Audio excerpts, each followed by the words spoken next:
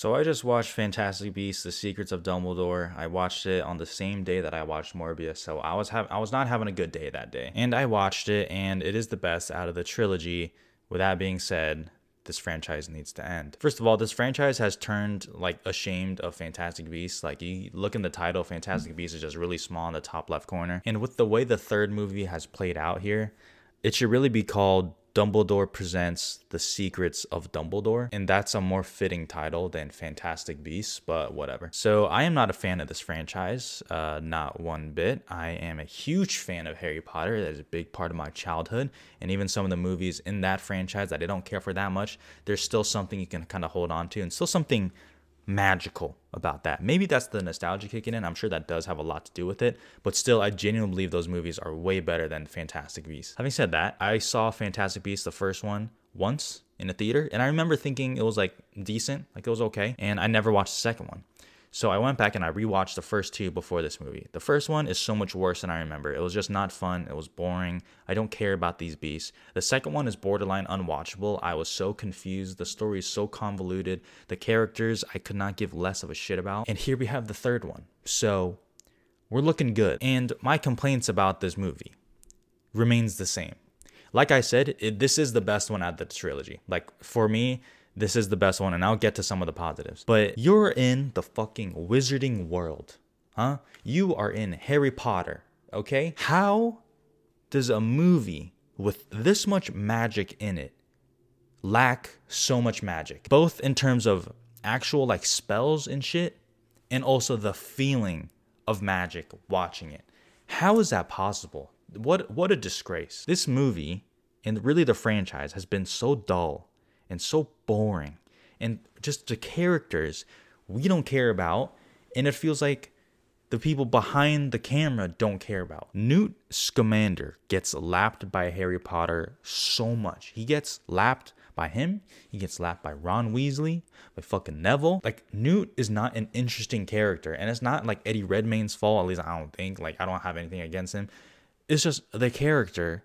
Just like he's okay. He's he's a, like a zoologist, you know, in the magic world or whatever. But all he does, he just, like, oh, what did Dumbledore tell me to do? Okay, yeah, I'll do that. I'll go do what Dumbledore says. And whatever Dumbledore says, it's not even that cool. The only spell I see him use is Accio, okay? Like, he just, that's all he does.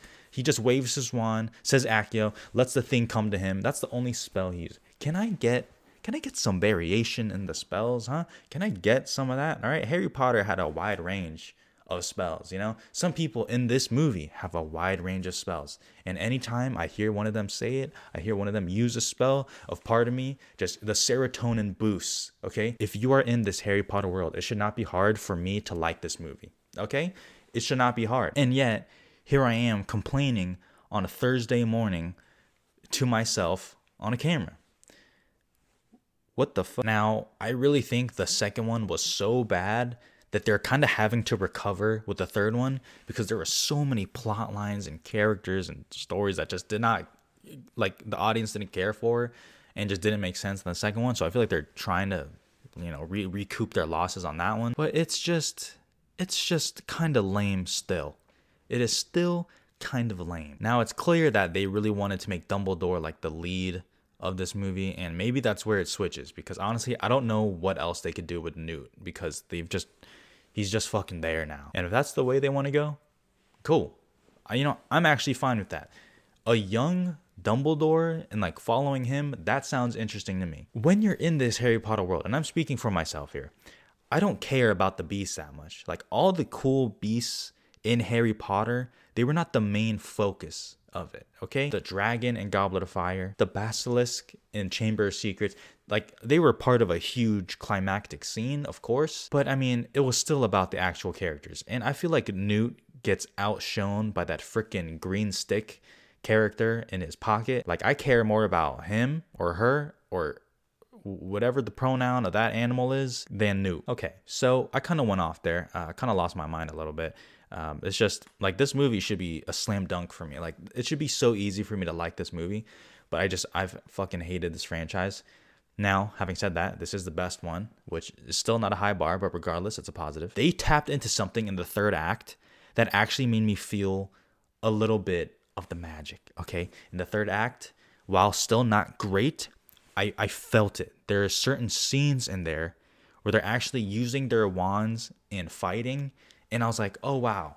Like, thank you so much for like having a clever action scene where they're using their wands and it's cool. There's some of that. There's an interesting-ish fight scene between Dumbledore and Grindelwald. I guess it's kind of interesting. Mads Mikkelsen is great. He is just a gift to this earth in terms of acting, and he steps in for you know he replaces Johnny Depp, which I'm certainly not going to get into, and uh, he's just fucking good. It's Mads Mikkelsen, of course, he gives a good performance. So he's a highlight for me. Parts of the third act is a highlight for me, and I guess the ending is somewhat nice. The ending is somewhat nice if they take this story in a whole different direction, but they do continue the franchise, I will be I will come in with at least higher expectations for the next one because I didn't hate how this one ended. But everything leading up to the third act just no. No. No, it's still insane. Doesn't make sense. Still didn't really care. I went to the screening and there's a bunch of people dressed as, uh, you know, in Harry Potter clothes and everything. There was like a part where they briefly turn up in Hogwarts, and this is no spoilers, okay? It's in the trailer, but there's like they briefly turn up in Hogwarts, and then like I think like two or three people were like, "Woo!" Woo! and they like clap but like that was really it like they just kind of showed hogwarts they did a couple things in some rooms and then they dipped and it was like oh okay yeah that was like a little little doggy treat for you Harry Potter fans there, I guess. And let me just say one more thing. This is a nitpick for me. This is not actual criticism because it's really stupid. This is just something for me. I understand like that thing where it's like you cast a spell but you don't say it out loud. You just kind of in your head and it does its thing, right? I kind of like it when they say the actual spell. You know, like it's just kind of cool. Maybe because we're spoiled with, you know, Daniel Radcliffe and Ralph Fiennes, you know, just fucking going off on those spells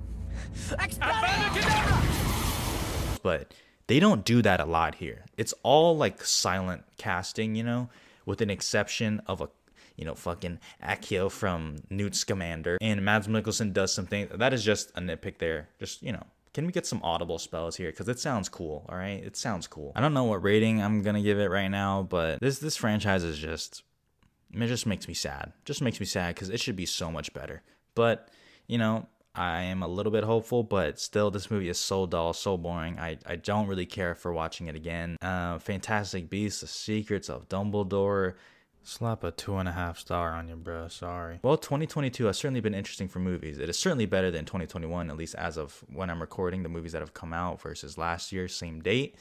Pretty good this year, looking good, but we'll see. And uh, J.K. Rowling wrote the screenplay, so uh, she need to stop. Please stop.